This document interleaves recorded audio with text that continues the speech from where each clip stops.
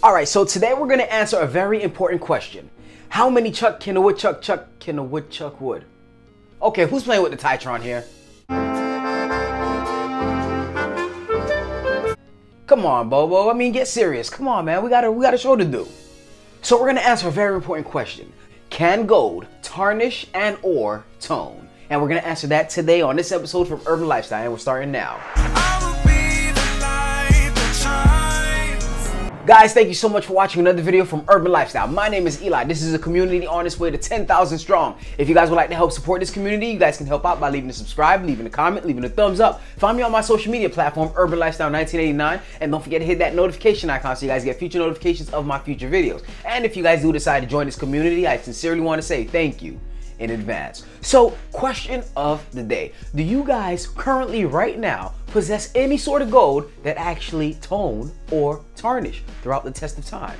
Comment down below, let me and the community know. All right, so first of all, for anybody who may be new to the silver stacking game or gold stacking, they might be wondering, what the heck is tarnishing? What the heck is toning? Hmm? If you're into silver stacking, if you have a silver coin and it starts to change color because maybe due to the stuff that's on top of it or just the air around it itself. And now, to be honest with you, in the community, a lot of people say that gold don't tone.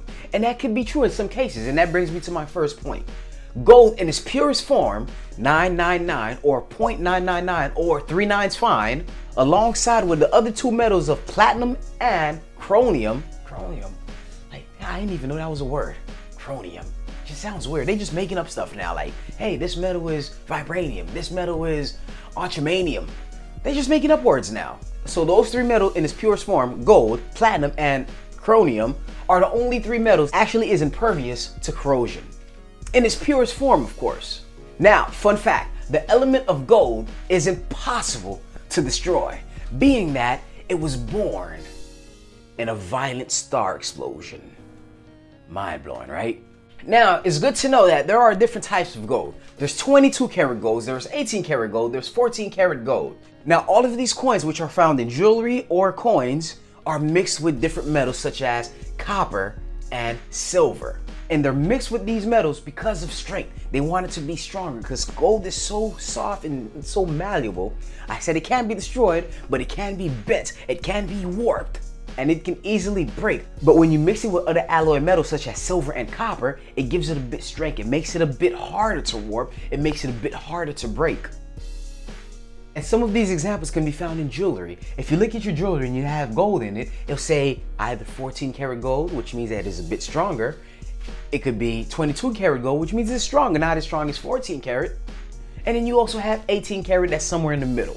But 24 karat jewelry, even though it's weaker than the rest, but it's more popular, meaning that, hey, that's as close to pure that they can get. And matter of fact, if you guys didn't see my last video, you guys should know that it is next to impossible to actually get pure, pure, pure gold. But some examples as far as the coin side that are 22 karat gold, which is the American Golden Eagle and the Krugerrand, which has 22 karat gold. I mean, they still give you an ounce of gold within the coin itself, but it's still 22 karat. And that can cause a debate within the gold community where people's like, hey, you know what? I want 24 karat gold when I buy my gold. I don't want 22 karat gold. And some people like, hey, you know what? As long as I get an ounce of gold, it really don't matter. But now, let's answer the question to how many Chuck Kid Woodchuck. Chuck, no, okay, no, no, no. Come on, Bobo, come on. Like, honestly here, please. All right. Now, to answer the question here, can gold tarnish, tone, or even have corrosion? Now, based on all the information that I actually have up here, any non-pure gold, meaning, I mean, there's no such thing as 100% pure, but anything gold that's 22 carats, 18 carats, 14 carats, over time will tone, slight luster tarnish, or even cause corrosion because of the fact that they're mixed with other metals that do tone over time or do tarnish over time, like copper and silver. And these are the main metals that they actually put in these 18 karat, 22 carats, or 14 karat gold coins or jewelry.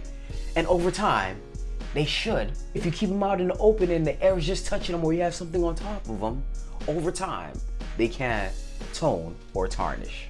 And that's pretty much all I have for you guys today. Let me know, did you guys know anything that I just mentioned in this whole video. Comment down below, let me know. But guys, thank you so much for watching another video from Urban Lifestyle. Don't forget to hit that subscribe button. If you guys are not subscribed already, comment down below, let me know your thoughts. Hit that thumbs up, helps out with the algorithm a lot. And don't forget to have a beautiful day. And don't forget to always work and grind.